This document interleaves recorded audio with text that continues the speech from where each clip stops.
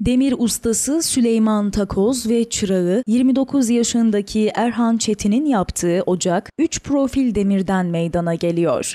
Ocağın ayak kısımları ise saçtan oluşuyor. Havalandırma, odun haznesi, küllük ve ızgaradan oluşan ocak kısa sürede yüksek ısılara ulaşabiliyor ve hemen her yerde kullanılabiliyor.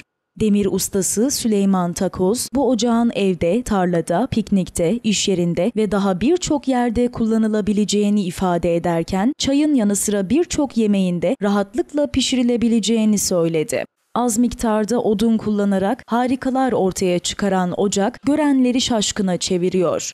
Kendi yaptığı ocağı kendi küçük marifeti büyük olarak tanımlayan demir ustası Süleyman Takoz, bu ocağı bir anda kafamda tasarladım dedi. Az bir miktar odunla ateşlenen kendi küçük marifeti büyük ocakta bir demlik çay 10 dakika gibi kısa bir sürede hazır oldu. Şimdilik ilçe genelinde ilk olma özelliği taşıyan ocak uzun bir süre daha ilgi odağı olmaya devam edecek gibi görünüyor. Bu duyum olarak böyle bir şey olabilir dendi.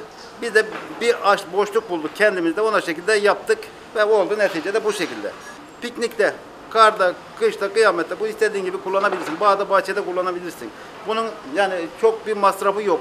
3-4 parçayla bir çayını demleyebilirsin. Kavurmanı yapabilirsin. Ben pazarını yaptım kendim denedim oldu. da hazır.